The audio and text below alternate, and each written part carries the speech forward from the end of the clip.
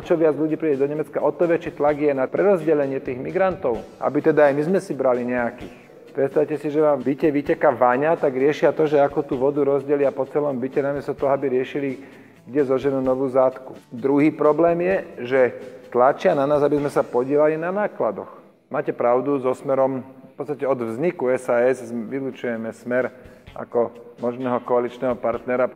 A ja som presvedčený, že keby z tejto brožúrky sa podarilo tie body, čo tam sú, alebo väčšinu tých bodov zrealizovať, tak by tí investori sem chodili aj bez tých stimulov alebo bez daňových prázdnin.